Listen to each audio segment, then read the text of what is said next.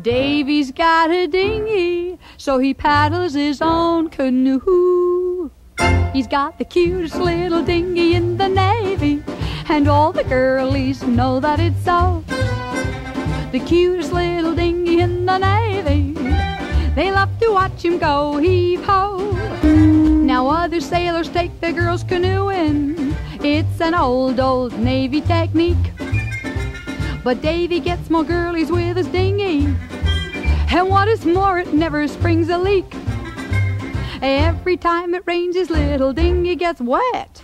But Davy says it's waterproof, so he doesn't fret. The cutest little dinghy in the Navy.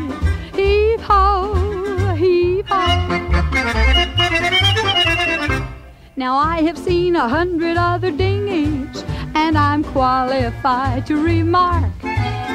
Got the cutest little dinghy in the Navy. Why, I would know it even in the dark. Heave ho. The Admiral has a flagship and the captain's got a cruiser. But Davy's got a dinghy, it's a Lollapalooza. The cutest little dinghy in the Navy. And the old Admiral was heard to say, if he had Davy's dinghy, he would always feel He'd ride the waves now.